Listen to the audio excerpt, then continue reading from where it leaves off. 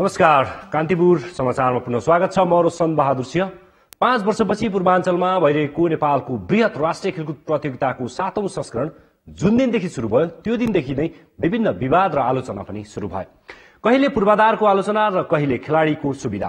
पर्याप्त बजेट र तयारी बिना नै गर्नका लागि यसपटकको खेलकुद प्रतियोगिता गरेको भन्ने भनाइ पनि बाहिर देशभरका खेलाडीको भेला भएको यो प्रतियोगिताले पूर्वाञ्चलमा पूर्वाधारका विकास हुन्छ भन्ने आशा गरिए पनि अन्तत निराशामा परिवर्तन भएको छ। के साँच्चै यसपटकको सातौं राष्ट्रिय खेलकुद प्रतियोगिता सोचेको जस्तो हुन नसकेको वा के कारणले गर्दा आयोजक नै आलोचित हुनु पर्यो यस विषयमा आज हामी कुराकानी गर्दैछौँ। साथै वर्षौंदेखिको ओलम्पिक विवाद झलक सातौंमा पनि देखिन पुग्यो। आखिर के कारण थियो यस विषयमा पनि आज हामी छलफल गर्नेछौँ। आजको हामीसँग गेस्ट हुनुहुन्छ नेपाल ओलम्पिक कमिटिका अध्यक्ष जीवनराम श्रेष्ठ। स्वागत छ यहाँलाई। हजुर धन्यवाद। अब सातौं राष्ट्रिय खेलकुद एउटा नेपालको वृहत राष्ट्रिय खेलकुद प्रतियोगिता जुन पाँच वर्षपछि छैटौँ आयोजना भएको पाँच वर्षपछि पूर्वाञ्चलमा आयोजना भयो। तपाईँ पनि उपस्थित हुनुहुन्थ्यो त्यहाँ। हजुर। तर जुन रूपमा जुन एक्सपेक्टेसन गरेको थियो सातौँको आयोजनाको लागि तर त्यो चाहिँ हुन नसकेको अवस्था हो तपाईँले के बुझ्नु भएको छ? अब यो हाम्रो एक्सपेक्टेसन चाहिँ नि निश्चित रूपमा माथिल्लो स्तरकै रह्यो होला। अहिले अब किनभने अब यो ग्लोबल भिलेज हो त्यसो भएको हुनाले दुनियाँका हाम्रा चाहिँ नि सबै खालका ठुल्ठुला खेलहरू हामीले टेलिभिज टेलिभिजनमा हेरिरहेका हुन्छौँ। त्यसको आधारमा अब नेपाली मनस्थिति पनि त्यस्तै एउटा उच्च स्तरको व्यवस्थापन त्यस्तो प्रदर्शन रहोस् भन्ने चाहनु स्वाभाविक पनि हो। तर त्यो खालको स्थिति बन्नको लागि हामी कहाँ त्यो एउटा तयारी पूर्वाधार र अवस्थाहरू चाहिँ नि छैन। त्यसो भएको हुनाले निश्चित रूपमा यो सातौं राष्ट्रिय खेलकुदको समुद्घाटन समारोह पनि त्यो एक्सपेक्टेसन अनुसार चाहिँ नि रहन सकेन र रहन सक्ने स्थिति पनि थिएन। पूर्वाधारको हिसाबले भनौँ अथवा खेलाडीको सुविधा भनौँ त्यहाँको व्यवस्थापनको हिसाबले पनि यो पटक निकै आलोचित हुनु पर्यो। अहिलेसम्मकै सबभन्दा खराब खराब प्रतियोगिता आयोजना भयो भन्ने कारण समाचारहरू पनि बाहिर आएका छन्। के कारणले बुझ्नु भएको छ तपाईँले? अब निष्पक्ष भएर भन्नुपर्दाखेरि मैले छैठौँमा पनि सहभागिता जनाउने अवसर पाएको थिएँ जुन चाहिँ नि सुदूरपश्चिममा भएको थियो र यो सातौँ भयो। त्यसैले अहिलेसम्मकै खराब त भन्न मिल्दैन। तुलनात्मक रूपमा त्यहाँभन्दा यहाँ चाहिँ नि अलि थप व्यवस्थित चाहिँ नि छ।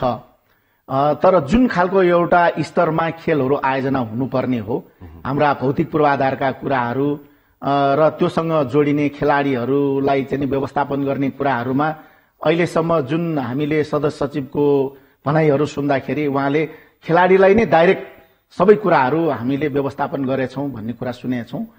त्यसो भएको हुनाले अब यस विषयमा मलाई धेरै कुराहरू त थाहा भएन तर त्यो भनाइ अनुसार त राम्रै कुराहरू हुन्। तर पनि केही केही टिका टिप्पणीहरू आइरहेका छन् र यत्रो वृहत खेलकुद आयोजना हुँदाखेरि केही टिका टिप्पणी हुनु स्वाभाविक पनि हो। जस्तै यो हरेक प्रतियोगिताहरूमा गल्तीहरू अथवा अधुरा कुराहरू चाहिँ एउटै एउटै किसिम हुन्छ। कहिले पूर्वाधार हुन्छ अथवा खेलाडीको सुविधा हुन्छ अथवा अरू व्यवस्थापनको हुन्छ। त्यो चाहिँ किन व्यवस्थित हुन नसकेको अवस्था होला? हरेक पटक एउटै कुरा रिपिट हुनुलाई हजुर यो महत्त्वपूर्ण प्रश्न तपाईँले गर्नुभयो। यसमा मलाई लाग्छ कि खेलसँग सम्बन्धित यो निकायहरू र सरकारको चाहिँ नि युवा तथा खेलकुद मन्त्रालय राष्ट्रिय खेलकुद परिषद मूलत चाहिँ नि यसमा गम्भीर बन्नु पर्यो। हामी सधैँ चाहिँ नि यो खालको समस्यालाई लिएर टिका टिप्पणी गरिरहेका हुन्छौँ।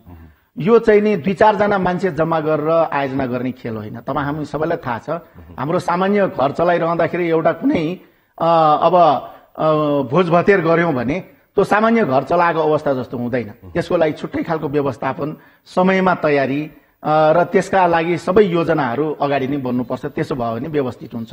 त्यसैले यो त चाहिँ नि एउटा हाम्रो देशको लागि ओलम्पिक नै हो यो। यति बृहत अ, चाहिँ नि खेलकुद र बृहत चाहिँ नि मान्छेहरूको जमघट भएर आयोजना हुने नेपालमा सायद कुनै पनि अरू क्षेत्रहरू छैन होला। यति बृहत चाहिँ नि यो एउटा आयोजना हो। त्यसले यसको लागि आवश्यक पर्ने भौतिक पूर्वाधारहरूको स्ट्यान्डर्ड के हो? त्यसैले यो सबै कुराहरू हाम्रो अन्तर्राष्ट्रिय चाहिँ नि स्तरसँग जोडिन जान्छ। हामी सबै यो तयारी किन गरिरहेछौँ भन्दाखेरि हाम्रो खेलाडीहरूलाई ओलम्पिकमा पुर्याउने र ओलम्पिकको प्रतिस्पर्धामा चाहिँ नि उन्नत बनाउने र सफलता हासिल गर्ने भन्ने उद्देश्यबाट प्रेरित भएर हामीले यो सबै काम गरिरहेछौँ त्यसो भएको हुनाले हाम्रा खेलका पूर्वाधारहरू पनि त्यो अन्तर्राष्ट्रिय स्तरको स्ट्यान्डर्डमा हामीले चाहिँ निर्माण गर्न सक्नु पर्यो जहाँको चाहिँ नि परिणामहरूले त्यो खालका स्ट्यान्डर्डहरू मेन्टेन गर्न सकोस्। यो हामीले एउटा ध्यान दिनुपर्ने विषय छ र यसको व्यवस्थापनका कुराहरूमा चाहिँ यिनै कुराहरू जोडिन्छ। त्यसो भएको हुनाले यसको तयारीको लागि समयमा नै सबै कामहरू हुनु आवश्यक छ। भौतिक पूर्वाधारलाई चाहिँ नि एउटा इन्टरनेसनल स्ट्यान्डर्डमा ल्याउने कुराहरूमा हामीले ध्यान दिने कुराहरू भयो। समयमा त्यो सबै कुरा तयारीमा हामी जुट्नु पर्यो। र खेलाडीहरूको चाहिँ नि जुन एउटा जिल्ला स्तरबाट नै यो छनौट प्रतियोगिताहरू हुन्छ। त्यसलाई समयमा चाहिँ नि छनौट प्रतियोगिताहरू आयोजना गर्नु पर्यो। र त्यसपछि आएर क्षेत्रीय प्रतियोगिता राष्ट्रिय प्रतियोगिता। राष्ट्रिय प्रतियोगिता हुनुभन्दा केही नभए पनि कमसेकम घटीमा मेरो अनुभव अनुसार भन्ने हो भने पनि हामीले सके तीन महिना अगाडि सबै कुराहरू आइसक्नु पर्यो। कति खेलाडीहरू कुन कुन क्षेत्रबाट भाग लिँदैछ कति खेलाडी हुन्छ कति व्यवस्थापक हुन्छ कति प्रशिक्षक हुन्छ कति रेफ्रीहरू हुन्छ। यो सबै डाटाहरू समयमा आइसक्नु पर्यो। त्यसो भयो भने मलाई लाग्छ यी सबै चाहिँ नि बसोबासका कुराहरूदेखि लिएर उनीहरूको चाहिँ नि खानपिनका कुराहरूदेखि लिएर उनीहरूका मोबिलिटीका कुराहरूदेखि लिएर सबै कुराहरूलाई व्यवस्थित गर्न सक्छौँ। तर हाम्रो यहाँ विडम्बना के छ भन्दाखेरि भोलिदेखि खेल हुँदैछ तिन दिन अगाडि बल्ल सङ्ख्याहरू आउन थाल्छन्। अनि त्यो रातारात त्यो व्यवस्थापनका कुराहरू भनेको हुन सक्दैन। तैपनि मलाई लाग्छ जे जति अहिले चाहिँ नि भइरहेछ त्यसलाई पनि हामीले अब राम्रै मान्नु बाहेक अर्को चाहिँ नि विकल्प छैन। राम्रो मान्ने एउटा चित्त बुझाउने बाटो मात्र भएको छ तर त्यसको फाइदा जुन पूर्वाञ्चलवासी अथवा पूर्वाञ्चलमा जुन पूर्वाधारहरू निर्माण होला भन्ने आशा गरेको थियो त्यो त असफलै भएको अवस्था अब असफल भन्नुभन्दा पनि हामीले अब अलिक सकारात्मक सोच नै राख्नुपर्छ होइन? त्यसो भएको हुनाले जुन अहिले पूर्वाञ्चलप्रति सबैको ध्यान आकर्षण भयो त्यत्रो एउटा चाहिँ नि पूर्वाधार निर्माणको लागि जग्गाहरू रहेछ। र त्यहाँ चाहिँ नि आधारहरू छन्। त्यसलाई हामीले व्यवस्थित गर्न सकेको भए अझ धेरै उन्नत चाहिँ नि हुन सक्थ्यो। र कमसेकम यसले जागरण ल्याउने काम र ध्यान आकर्षण गर्ने काम र खेलको आयोजना हुने काम चाहिँ नि भएको छ। के एउटा हाम्रो नेपाली उखान छ नि रोइरहनु भन्दा गाइरहनु जाति भने जस्तो कमसेकम आयोजना भयो। खेलाडीहरूले आफ्नो प्रतिभा देखाउने एउटा अवसर चाहिँ नि पाए। तपाईँ पनि एउटा जिम्मेवार निकायमा हुनुहुन्छ नेपाल ओलम्पिक कमिटीको अध्यक्षको रूपमा हुनुहुन्छ। तपाईँहरूले पनि एउटा घचघचाउने पाटो त हो नि त ओलम्पिकबाट राष्ट्रिय खेलकुद परिषदलाई र मन्त्रालय अथवा सरकारलाई पनि घचघचाउने समय समयमै पूर्वाधार बनाऊ अनि खेलाडीलाई यसो यसो गर्न प्रक्रियाबद्ध रूपमा सिलेक्सन गरौँ भन्ने कुरा त्यो गर्नुपर्ने अवस्था थियो कि थिएन? अब यो विषयमा चाहिँ नि अब हाम्रो कुराकानी हुँदाखेरि हामीले यी कुराहरू भनेका छौँ। एउटा अब अहिलेसम्मको हाम्रो प्र्याक्टिसहरू हुन नसकिरहेको कुरा के छ भन्दाखेरि यसको जुन खेल भन्न साथ कि यसका चाहिँ लाइन एजेन्सीहरू जुन हुन्छन् यो बिचमा बस्ने छलफल गर्ने र कसरी अगाडि जाने भन्ने विषयमा हाम्रो यो खालको एउटा चाहिँ नि यो प्रचलनहरू कम छ। त्यसले गर्दाखेरि अब यो खेलकुद भन्ने बित्तिकै खेलको आयोजना भन्ने बित्तिकै त्यहाँ चाहिँ नि ओलम्पिक जोडिन आउँछ। किन भन्दाखेरि हाम्रो लक्ष्य त चाहिँ नि उच्चतम स्तरको आयोजना भनेको सहभागिता भनेको ओलम्पिक खेल नै हो। प्रत्येक अन्तर्राष्ट्रिय खेलकुदमा हाम्रो खेलाडीले चाहिँ नि एउटा प्रतिभावान खेलाडी निस्कोस् र त्यसले एउटा भोलि प्रतिस्पर्धाहरूमा जितोस् र नेपालको झन्डालाई फरफराओस् भन्ने हाम्रो चाहना हो। त्यसो भएको हुनाले यो जुन एउटा चाहिँ नि खेलकुदको विषयमा हामीले छलफल गर्दाखेरि खेलकुदको कुनै पनि आयोजना गर्दाखेरि त्यो ओलम्पिक चाहिँ नि अनिवार्य रूपमा त्यसमा संलग्नताको आवश्यकता हुन्छ। र यो खालका कुराहरू हामीले गरिरहेका छौँ। गर्दा गर्दै पनि यो खालको हाम्रो एउटा चाहिँ नि प्रचलनहरू चल्न सकिरहेको छैन। मलाई लाग्छ अब अहिले आम रूपमा यो महसुस पनि हुँदै आइरहेको छ जस्तो लाग्छ। जस्तै अब ओलम्पिकबाट खेलाडी अन्तर्राष्ट्रिय प्रतियोगितामा खेल्न जान्छन् र तपाईँहरू पनि विभिन्न प्रतियोगिताहरूमा अवलोकन गर्ने मौका पाउनु भएको हुन्छ। अब त्यत्रो अन्तर्राष्ट्रिय प्रतियोगितामा त्यहाँको पूर्वाधार खेलाडीको स्तर हेर्दाखेरि र नेपाल आएर नेपाली खेलाडीको स्तर र पूर्वाधार हेर्दाखेरि चाहिँ अब विकास गर्ने बेला त सोच्नुपर्ने बेला आएन यो त एकदमै गम्भीर भएरै सोच्नुपर्ने बेला आइसक्यो। हामी त ढिला भइसक्यौँ अझ कहाँ चाहिँ हामी पछि परिरहेछौँ त हामी पछि परिरहेको अवस्था भनेको मलाई लाग्छ खेलकुदलाई हेर्ने हाम्रो जुन एउटा सरकारको दृष्टिकोणमा नै हामी चाहिँ नि पछाडि परेछौँ जस्तो लाग्छ मलाई चाहिँ नि। किनभने सरकारको संलग्नता बिना सरकारको चाहिँ नि लगानी बिना हामी खेलकुदको विकासको परिकल्पना गर्न सक्दैनौँ। किन खेलकुद भन्ने बित्तिकै त्यहाँ चाहिँ नि पूर्वाधारका कुरा आउँछ। र त्यो अर्थसँग जोडिन जान्छ। त्यो भएको हुनाले यो जि यो चाहिँ नि अहिले मानव जीवनको स्वास्थ्यसँग जोडिएका कुराहरू पनि हो। त्यसो यसको एउटा मान्यता के छ? अब जसरी विभिन्न क्षेत्रहरू अहिले मानव अधिकारसँग जोडे जस्तै खेलकुद पनि एउटा मानवको अधिकारसँग जोडेको कुराहरू अहिले विश्वव्यापी रूपमा भइसकेको छ। र अब सरकारले जुन ट्याक्स चाहिँ नि उठाउने गर्छ भनेपछि त्यो ट्याक्स मनीले जनताको स्वास्थ्यलाई पनि लगानी गर्नुपर्छ भन्ने एउटा मान्यता मान्यता हो। यो विश्वव्यापी एउटा मान्यता हो।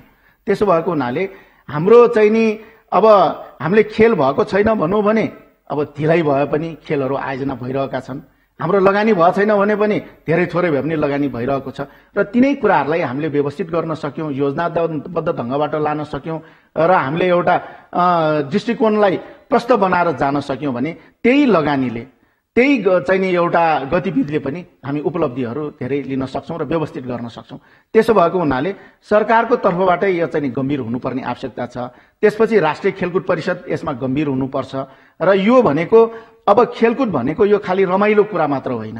यो भनेको एउटा विषय हो र यो एउटा चाहिँ नि प्रावि नितान्त एउटा प्राविधिक कुरा हो। त्यसो भएको हुनाले अब यो क्षेत्रलाई एउटा प्राविधिक समूहको रूपमा हामीले विकास गर्नुपर्छ कि भन्ने मलाई चाहिँ नि लाग्छ। अब मन्त्रालयमा पनि हाम्रो अब प्रशासनिक क्षेत्रबाट आउनुभएका त्यहाँ चाहिँ नि कर्मचारीहरू हुन्छन्। अब मन्त्री भनेको त तपाईँको आउने जाने क्रमहरू भइरहन्छ। तर त्यहाँको एउटा स्थायी रूपमा नेतृत्व गर्ने भनेको कर्मचारी संयन्त्र नै हो। त्यसो भएको हुनाले यो खेल प्रविधि चाहिँ नि बुझ्ने खालको एउटा त्यहाँ चाहिँ नि खेल यो प्रशासनमा पनि हुनु पर्यो यो खेल प्रशासनमा हुनु पर्यो। त्यसो भयो भने मलाई लाग्छ यसको एउटा चाहिँ नि महत्व र यसको प्राविधिक पक्ष र यसको चाहिँ नि जुन एउटा चाहिँ नि रिक्वायरमेन्टहरू हो त्यो कुरालाई बुझ्न सक्छ र त्यो ढङ्गबाट योजनाहरू तयार गरेर अगाडि बढाउन सक्छौँ। तर यसको सँगै हामी अब युवा तथा खेलकुद मन्त्रालय राष्ट्रिय खेलकुद परिषद नेपाल ओलम्पिक कमिटी र खेलका सङ्घहरू यो बिचमा समन्वय गरेर संयन्त्र तयार गरेर यी कुराहरूलाई हामीले छलफल गर्ने र एउटा योजना तयार गर्ने र त्यो अनुसार कार्ययोजनाहरू बनाएर हामी अगाडि बढ्ने हो भने यो समस्यालाई हामी समाधान गर्न सक्छौँ। यो कुरा त तपाईँ पहिला पनि सदस्य सचिव भइसक्नु भएको हजुर। त्यो बेला पनि यस्तै कुरो हुन्थ्यो होला होइन? त्यो बेलामा अब यहाँहरूले कतिको याद छ र मैले जुन चाहिँ नि मेरो नेतृत्वमा धेरै लामो समयसम्म हुन नसकेको पाँचौँ राष्ट्रिय खेलकुद आयोजना गऱ्यौँ र त्यो पनि धेरै अप्ठ्यारोको बिचमा अन्तिम अन्तिममा बजेटहरूको निकासा भएर आयोजना गर्यौँ। त्यसले गर्दा हामीले जति व्यवस्थापनको पक्षमा सोचेका थियौँ जुन खालको एउटा स्तर सोचेका थियौँ त्यसलाई पनि हामीले गर्न सकेनौँ। त्यसको मुख्य कारण भनेको हाम्रो समयमा सबै कुराहरू अगाडि बढ्न नसक्नु बजेट निकासा हुन नसक्नु नै प्रमुख कारणहरू चाहिँ भनेपछि यो राष्ट्रिय प्रतियोगिताहरू आयोजना गर्दा होस् या अन्तर्राष्ट्रिय प्रतियोगिताहरूमा सहभागिता जनाउँदा होस् सरकार नै दोषी देखियो होइन त। अब सरकार दोषी भन्ने भन्दा पनि मलाई लाग्छ सरकार भनेको यो चाहिँ नि नेतृत्वकर्ता हो। त्यसमा निश्चित रूपमा जिम्मेवारी चाहिँ नि ती नै रहन्छ। सरकारले नचाहेसम्म यस्ता कुराहरू हुन सक्दैन। त्यसो भएको हुनाले सरकारको तर्फबाट यसलाई गम्भीर हुने र यसलाई नेतृत्व गर्ने कुरामा चाहिँ नि अगाडि बढाउनुपर्छ भन्ने मेरो चाहिँ नि मान्यता हो। अब फेरि एकपटक म सातौँमा नै फर्किन्छु। उद्घाटन समारोहमा एउटा अर्को विवादको कुरो आएको थियो अथवा विवादै कुरो भनौँ। हजुर। अब तपाईँकै विषयमा नेपाल ओलम्पिक कमिटीको अध्यक्षको नाताले तपाईँ मञ्चमा बस्यो भनेर बहिष्कार गर्यो भन्ने कुरो पनि आएको थियो। खास यो विषय के हो? अब यो मलाई लाग्छ हामीलाई अब कसैले आफूलाई त अब मैले सुने मैले त त्यहाँ आफूले प्रत्यक्ष रूपमा त केही पनि देखिनँ। म मञ्चमै थिएँ। अब सम्माननीय राष्ट्रपतिज्यू चाहिँ नि महामहिम राष्ट्रपतिज्यू प्रमुख अतिथि हुनुहुन्थ्यो। र पछि मैले पत्र पत्रिका हेरेँ। थाहा पाएँ। तर जसले विरोध गरेको भन्ने व्यक्तिहरू मसँगै त्यहाँ चाहिँ पछि म फर्किँदाखेरि भेट भेट भएको थियो तर उहाँहरूले त्यस्तो टिका टिप्पणी केही चाहिँ नि गरेको पाइनँ। अब त्यो जुन अवस्थामा एउटा नेपालको खेलकुदको विषयमा हामीले चर्चा गर्दाखेरि जुन एउटा परिस्थितिमा हामी गुज्रिरहेका छौँ जसरी एउटा चाहिँ नि सर्दा सर्दा बल्ल फेरि चाहिँ नि सातौँ राष्ट्रिय खेलकुद आयोजना हुने स्थिति बन्यो। यो खेलाडीहरूको लागि एउटा ठुलो अवसर हो। र उनीहरूको यो प्रतिभा लाई देखाउने एउटा चाहिँ नि राम्रो चाहिँ नि मौका हो। यस्तो अवस्थामा हामीले खेलकुदलाई बाधा पुर्याउने कुनै पनि काम गर्छौँ भने त्यो खेल प्रेमी र खेलको विकास चाहने मान्छेहरू भनेर हामीले भन्न सक्दैनौँ। एउटा कुरा। दोस्रो कुरो जब हामी चाहिँ नि त्यो मञ्चमा ओलम्पिक कमिटीको अध्यक्ष नभए चाहिँ नि को रहने त? खेलकुदको आयोजना भइरहेको छ। खेलकुदको आयोजना हुने ठाउँमा ओलम्पिकको चाहिँ उपस्थिति नहुने ओलम्पिकको अध्यक्ष नहुने भयो भने त्यो खेलले पूर्णता पाउन सक्छ। त्यो खेलका चाहिँ नि सम्पूर्ण कुराहरू त्यो चाहिँ नि वैध बन्न सक्छन्। हामी किन खेल खेलाइरहेछौँ? किन खेलमा चाहिँ नि खेलाडीहरूलाई हामी विकास गर्न खोजिरहेछौँ? यो कुरा चाहिँ नि महत्त्वपूर्ण कुरा त्यसैले हामी हरेक खेलमा खेलाडीहरूलाई एउटा चाहिँ नि राम्रा खेलाडीहरू छानेर हामी भोलि दक्षिण एसियाली खेलकुद एसियाली खेलकुद र ओलम्पिक जस्तो खेलहरूमा जित्न चाहिरहेका छौँ। हामी राष्ट्रको झन्डालाई चाहिँ माथि फरफराउन चाहिरहेका छौँ गौरव बढाउन चाहिरहेका छौँ। अनि त्यो काम सबै कुराहरू ओलम्पिकको उपस्थिति बिना हुन सक्छ। त्यो कल्पना गर्न सक्छौँ। जुन अन्तर्राष्ट्रिय ओलम्पिक कमिटीले मान्यता दिएर देशमा क्रियाशील रहेको ओलम्पिक बिना त्यो कुराको कल्पनै गर्न सक्दैनौँ। त्यसो भएको हुनाले मैले चाहिँ नि त्यो मलाई लाग्छ कि कोही कसैले यदि विरोध गरेको अवस्थाहरू छन् भने पनि त्यो खेललाई नबुझेका व्यक्तिहरू हुन्। त्योभन्दा अरू केही पनि होइन। अब यहाँ ओलम्पिकको तपाईँले आफैले कोट्याउनुभयो एउटा विवादको कुरो। पछिल्लो पटक अर्को एउटा विषय छ जुन गृह मन्त्रालयले पत्र पठाएर रूपमा समदेव राणाको ओलम्पिक कमिटीलाई फेरि सक्रिय बनाउने भनेर पत्र पठाएको अवस्था थियो। त्यो फेरि अब वर्षौँदेखिको विवाद बिचमा साम्य भएको अवस्था पनि देखिएको थियो फेरि बिउतिएको अवस्था। विवाद चाहिँ? यो विवाद बिउटेको भनेर म भन्न चाहन्न। एउटा कुरा म प्रश्न के भन्न चाहन्छु भने गृह मन्त्रालयबाट हाम्रो नेपाल ओलम्पिक कमिटीलाई सातौँ पटकमा रहेको ओलम्पिक कमिटीलाई कुनै पत्र आएको छैन। एउटा म प्रश्न रूपमा भन्न चाहन्छु। दोस्रो केही चाहिँ नि आफूलाई एकदमै ठुला पत्रकार भन्ने केही मान्छेहरूको संस्थाहरूबाट मैले पाएँ। ओलम्पिक कमिटीमा तालाबन्दी गर्यो भन्ने कुराहरू पनि समाचारमा आयो। यो आफूलाई ठुलै एउटा टेलिभिजन भन्नेबाट पनि आए। अनलाइन भन्नेबाट पनि आए। मैले फेसबुकमा पनि राख्दै थिएँ। यो गलत समाचारहरू सम्प्रेषण गरेर जनतामा भ्रम फैलाउने र खेलकुदलाई एउटा चाहिँ नि दामादोल बनाउने र यो विकासलाई अवरुद्ध बनाउने चाहना राख्ने व्यक्तिहरू हुन् तिनीहरू। किनभने होइन भए त्यो गलत समाचार सम्प्रेषण गर्दै गर्दैन थियो जहाँसम्म तपाईँको चाहिँ नि अब विवाद र निष्क्रिय सक्रियताका कुराहरू छन् यो सडसठी सालमा सर्वोच्च अदालतले गरेको फैसला। र त्यो सम्बन्धी लिएर कार्यान्वयन शाखाले त्यही फैसलाको कार्यान्वयन शाखाले उहाँहरूले गएर निवेदन लेखिदिनु पर्यो भनेर त्यसरी निवेदन लेखाइएको कुरा भन्ने कुरा मैले जानकारी पाएको छु। र फेरि अहिले एउटा कुरा के भन्दा बहत्तर सालमा अर्को एउटा फैसला सर्वोच्च अदालतबाटै भएको छ। र सम्मानित सर्वोच्च अदालतको सम्माननीय प्रधान न्यायाधीशज्यूको संयुक्त इजलासबाट अर्को फैसला भएको छ। र त्यो फैसलाले प्रष्ट रूपमा के भनिसकेको छ भन्दाखेरि हामी कानुनी रूपमा काम गर्न पाउने संस्था हो। र हामी दर्ता कायम भएको संस्था हो। त्यसैले नेपालमा एउटा ओलम्पिक कमिटी गृहमा चाहिँ नि यो जिल्ला प्रशासनमा दर्ता भएको रुकमा शमशेर राणाको नेतृत्वमा भएको ओलम्पिक कमिटी छ। त्यसले आफ्नो ठाउँमा काम गर्न पाउँछ। र हामी खेलकुद परिषदमा दर्ता भएर काम गरेर आएको ओलम्पिक कमिटी हो जसलाई इन्टरनेसनल ओलम्पिक कमिटीको समेत मान्यता चाहिँ नि रहेको छ र हामीले काम गर्न पाउँछौँ भन्ने सर्वोच्च अदालतको प्रष्ट रूपमा त्यो चाहिँ नि फैसला भइसकेको छ। दुई हजार बहत्तर साल पौष एक्काइस गते भएको फैसला हो। अब अर्को म प्रश्न गरौँ कि अहिले चाहिँ नि एउटा मान्यता के विकास भयो भन्दाखेरि अब ओलम्पिक तीनवटा ओलम्पिक कमिटी र हाम्रो देशमा अहिले छ। कानुनी मान्यता प्राप्त भएको ओलम्पिक एउटा मैले नेतृत्व गरिरहेको नेपाल ओलम्पिक कमिटी जसलाई अन्तर्राष्ट्रिय ओलम्पिक कमिटीको चाहिँ नि मान्यता छ। र अर्को रुक्म शमशेर राणा जो काठमाडौँ जिल्ला प्रशासनमा दर्ता भएको ओलम्पिक कमिटी र अर्को डोली दोची जिल्ला प्रशासनमा दर्ता भएको धुरबार प्रधान अध्यक्ष भएको ओलम्पिक कमिटी। त्यो पनि कानुनी मान्यता रहेको ओलम्पिक कमिटी छ। त्यसो भएको हुनाले आफ्नो आफ्नो ठाउँमा काम गर्नको लागि कसैले चाहिँ नि छेकेको छैन। तर रुक्म शमशेर राणालाई काम गर्नको लागि हामीले छेकेका छैनौँ उहाँहरू काम गर्न सक्नुहुन्छ उहाँहरूले आफ्नो ठाउँमा काम गर्नुहोस्।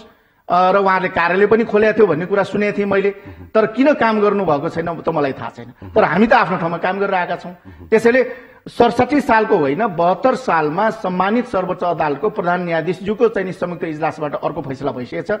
त्यसको आधारमा हामी कानुनी मान्यता ओलम्पिक कमिटी हौँ र हामीलाई अन्तर्राष्ट्रिय ओलम्पिक कमिटीको समेत मान्यता छ र हामी क्रियाशील भइरहेका छौँ। कुरा त्यति मात्र अब यो ओलम्पिक विवाद जति कुरा गर्यो त्यति लम्बिने विषय पनि भएको छ पछिल्लो समय। अर्को कुरो एउटा अब सागको आयोजना हाम्रो जिम्मेवारीमा छ। हजुर। र हाम्रो अर्को लक्ष्य भनेको ट्वेन्टी ट्वेन्टी टोकियोमा ओलम्पिक हुँदैछ त्यसमा हामी पदक जित्ने भन्ने लक्ष्य राखेका छौँ। हजुर। अब घरेलु प्रतियोगिता गर्न त व्यवस्थित गर्न गाह्रो अवस्था। त्यसमा अनि सागको आयोजना त्यहाँबाट ओलम्पिकमा पदक जित्न चाहिँ कतिको सम्भव छ? अब यो यही यही यसै परिस्थितिमा गयो भने अथवा यो परिस्थिति परिवर्तन नभएको खण्डमा अथवा भए पनि कति भयो? सम्भव छ। अब असम्भव भन्ने कुरा त केही पनि छैन हेर्नुहोस्। अब हामीले अहिले चाहिँ नि यो गएको रियो ओलम्पिकको नतिजाहरूलाई हेर्दाखेरि नयाँ नयाँ देशहरूले पनि गोल्ड मेडल चाहिँ नि जितेका छन्। र हाम्रो नेपालले जित्न नसक्ने भन्ने कुरा छैन। हामीसँग धेरै कुराहरू खेलको विकासको लागि चाहिँ नि फ्रेन्डली अवस्था छ। खालि लगानीको कुरा र हामीले व्यवस्थापनका कुराहरूमा हामीले अलिक ध्यान दिनुपर्छ। त्यसो भएको हुनाले अहिले यो ओलम्पिकलाई टार्गेट बनाएर नेपालको इतिहास पनि दुई हजार चौसठी साल नाइन्टिन सिक्सटी फोरबाट टोकियो ओलम्पिकबाटै प्रारम्भ भएको हो। फेरि अब टु थाउजन्ड ट्वेन्टीमा टोकियो ओलम्पिक हुन गइरहेको छ। र हामीले नेपाल ओलम्पिक कमिटीको तर्फबाट अब यो ओलम्पिकमा स्तरयुक्त खेलाडीहरू तयार गर्नको लागि एउटा twenty twenty mission twenty twenty भनेर हामीले एउटा प्रोजेक्ट सुरु गर्दैछौँ। अहिले सरकारसँग पनि हामीले समन्वयको लागि कुराकानी गर्दैछौँ। र त्यस विषयमा मैले एउटा कार्यपत्र पनि तयार गरेको छु। कार्यक्रमै तयार गरेको छु।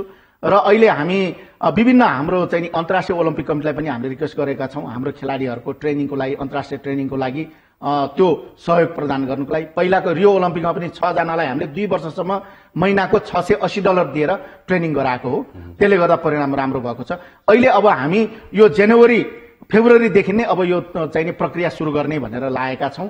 र त्यसको लागि अन्तर्राष्ट्रिय ओलम्पिक कमिटीको सहयोग ओलम्पिक काउन्सिल अफ एसियाको सहयोग र रसियन ओलम्पिक कमिटीको सहयोग अहिले हामीले त्यहाँ स्कलरसिपदेखि लिएर सबै कुराहरूको लागि हामी तयारी गर्दैछौँ। त्यस्तै गरिकन भर्खरै मात्र मैले चाहिँ नि यो कतार ओलम्पिकसँग सम्झौता गरेको छु। उहाँहरूले पनि त्यो एउटा सहयोग प्रदान गरेर हामीलाई स्तर उन्नत बनाउने कुरा गरेको छ। इरानसँग मङ्गोलियासँग भियतनामसँग चीनसँग थाइल्यान्डसँग धेरै हङ्गेरीसँग धेरैवटा देशहरूसँग अहिले हामीले यो खालको समन्वय गरेर नेपालको खेलाडीहरूलाई स्तर उन्नत गराउने कुराहरूमा हामी तयारीमा जुटेका छौँ। त्यसो भएको हुनाले अब सरकारको सहयोग र हामी संयुक्त रूपमा यो काम चाहिँ नि अगाडि बढाएर टोकियो ओलम्पिकमा नेपाली खेलाडीहरूले एउटा चाहिँ नि सफलता प्राप्त गर्ने दिशामा जानुपर्छ भनेर लागेका छौँ। हस् त यहाँ समाइदिनु भयो धेरै धेरै धन्यवाद। हजुर धन्यवाद यहाँलाई पनि। उहाँ हुनुहुन्थ्यो नेपाल ओलम्पिक कमिटीका अध्यक्ष जीवनराम श्रेष्ठ। हामीसँग कुराकानी गर्दै कान्तिपुर समाचार जारी रहनेछ कान्तिपुर टेलिभिजन। हेर्दै गर्नुहोला। नमस्ते।